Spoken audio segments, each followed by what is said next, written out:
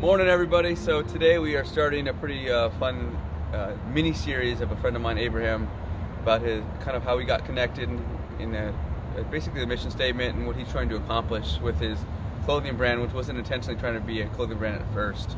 He's really trying to help people and tell his story about some of the struggles he had in his life. So we're here at the podcast studio. We're gonna do some work here. Uh, gonna go back to Green Guard. Gotta get my morning apparel meeting done. That's gonna be a little bit later than normal to the heartbeat of everything that's going on there. Um, head down to Miramar, Hardcore Fitness, which we'll go to. Um, and then I was gonna go to Temecula. That changed early this morning, so now I'm gonna then we're gonna go to San Marcos Hardcore Fitness and make sure internet install and all that goes well, and then uh, to Vista Hardcore. So it's gonna be a busy day. Let's mm -hmm. get it.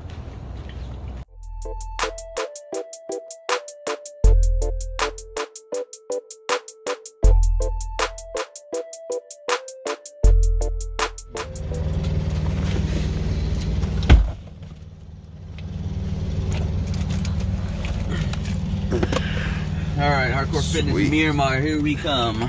Mm-hmm. so we've talked about this before, but I like to reiterate it because I think it's something that um, has a core foundation for people that really make them trapped in a specific environment.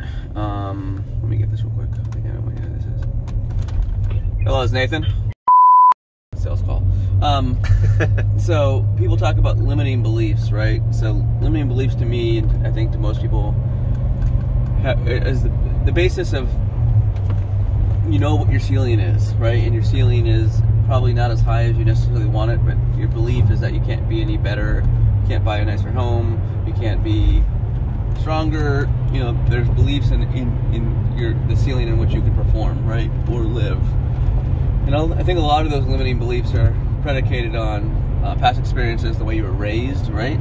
Um, because of either your parents or, or the, you know, the uh, sum of the top five people that you surround yourself with, as everybody's heard, right?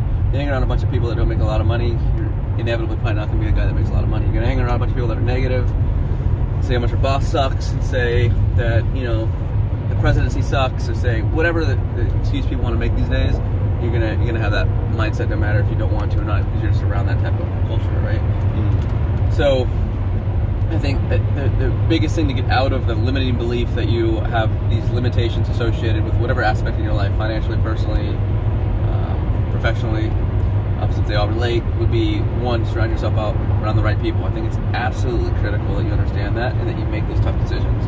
People, I think, have a hard time with that, right? Because um, they, they think they have to always be around people that are better than them, that make more money than them, and the reality is is that's not true. I mean, a lot of people I hang out with don't make anywhere close to the money I make, and that to me doesn't matter. Now, I do I go and, and like I was I've mentioned in my previous uh, messages, I'm part of a group called Vistage. People are far more successful than me in a group like that, right? So I'm not um, opposed to be. You still want that in your world, but it doesn't have to be the, your sole existence to hang out with people that make more money or more successful. In fact, a lot of people I hang out with are just simply happier. Um, and frankly, a lot of them are ones that don't make a lot of money, right? Because sometimes those don't go hand in hand. So, uh, for people out there that want to listen to a message about limiting beliefs, surround yourself around the right people. Tell the friend that you've known for 10 years, hey, listen, I'm not, this is, you know, just stop talking to him as much. Tell him I, I can't deal with the, the, negativity. You gotta fucking clean your shit up, or I'm not, I'm not overly interested in continuing to hang out with you. Tough conversation. Uh, most people would, would go the easier way out of just simply not contacting them but make a concerted effort to try to be around people that are more positive, right? Mm-hmm. That, that have similar goals and ambitions that you have. I promise you, the second you start doing that, you're going to realize, like, holy shit, look at how much things are changing for me because you're just around that. You're more motivated. Um, you have a stronger drive all of a sudden. You probably have more accountability, and it's, uh, I think it's really important for people to understand that. One of the things I wanted to talk about, and I'll try to be as positive as I can about this because sometimes I get on a little bit of a bitching rant, but um, I get really tired of people talking about how they want stuff so bad. I have a couple people in particular say, "I want to work for your credit card company," or "I want to work for this," or "I want to, I want to, you know, own a house here," or "I want to do whatever, A, B, and C." And then every single time I talk to them, it's the same bullshit. Like, why? What have you done about it? Oh, well, I've been busy this, or I've been busy that. I don't, want, I don't want to fucking hear it.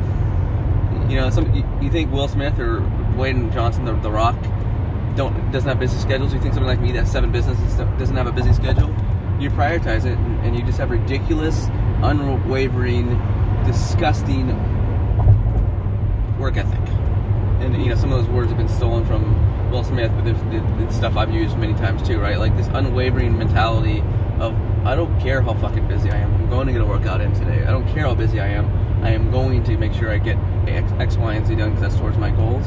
It's important. And for people that I know that are not nearly as busy or don't have those like required obligations, they just want to live that like more balanced lifestyle. Fine, but then don't complain about the fact that you don't have all this other stuff. You make the decision, right? And and so people that you know, people in my position and a lot of other people that have this disgusting work ethic that just will not be outworked have a hard time understanding when other people want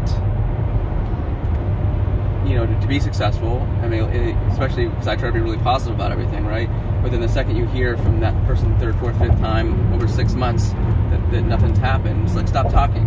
It does, does nothing for you. In fact it's probably making it worse because now you're internalizing the fact that you continuously fail without saying you're failing. Mm. right? You're saying oh i'm gonna i'm gonna you know start the side job. I'm gonna become you know a trainer. I'm gonna become a, a real good salesperson. I have one guy out in Temecula that's a friend of mine that keeps saying that to me. And it's like, okay, so then do it. Stop fucking talking about it. Like, don't understand what you're waiting for. Right?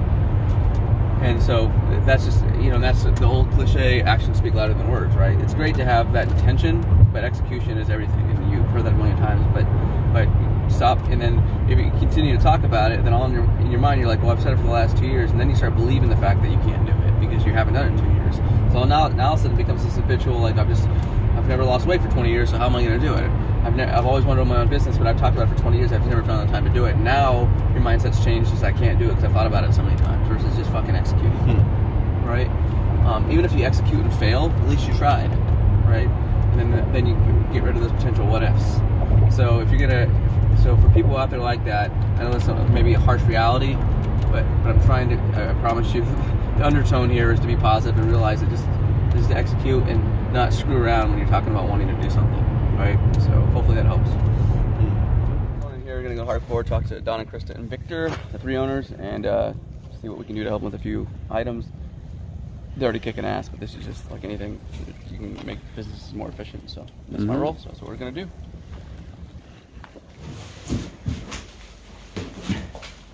Get some plates here the wall ball targets with Hardcore Fitness logo on them. We're gonna put these in. This stuff is a lot better.